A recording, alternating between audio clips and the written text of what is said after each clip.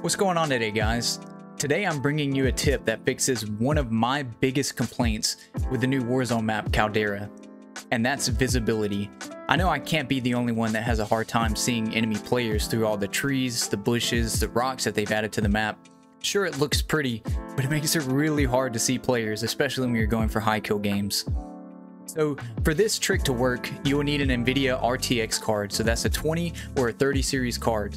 You'll simply have to make one change to the settings in the NVIDIA control panel and one change to your settings in game. And I promise you'll see the difference in the visuals. You'll have better visibility and hopefully it'll help you see in those players when you go for those high kill games. Check it out. Alright, so currently the problem that I have when playing at 1440p native resolution uh, without anti-aliasing is if you look, to move around, the edges just look kind of jagged, uh, especially in the distance. Edges of trees, edges of mountains, and it's just difficult to spot people on uh, Caldera. So let me show you what I've done to fix that. Alright, so first thing you're going to want to do is go to the uh, NVIDIA website, or you can open up GeForce Experience. Make sure that your driver is on uh, version 5.11 or newer. Uh, this feature is only going to be found on that driver. So what you're going to do is you're going to open up NVIDIA control panel. You go to your 3D settings and you're going to look for DSR factors. So on this new driver, uh, NVIDIA added a new feature called DLDSR, Deep Learning uh, Digital Super Resolution. Okay, so what this is, is this is a uh, more efficient way of scaling your game up uh, using the tensor cores on your card. So you have to have an RTX card for this to work. Uh, so what I do is I, I enable the 1.78 times DLL.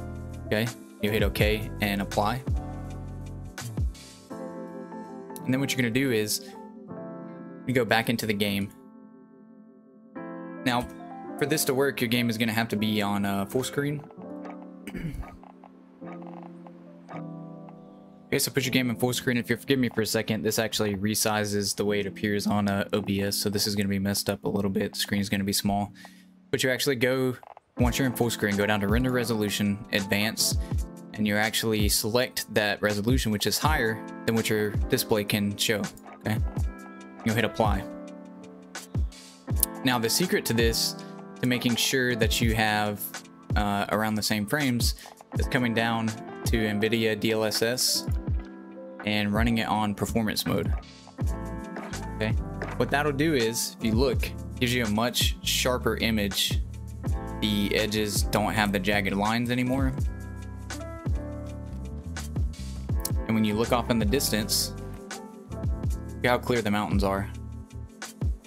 You're gonna take a little bit of performance hit for this, uh, but I promise you, uh, you'll be able to see people a lot better. And the frames that I lost for this are well worth being able to see people and not getting killed by bush Wookiees. Uh, no, to the left. Yeah, I see him. Are we gonna jump? Yeah, they're oh, jumping off right here. Enemy patrol.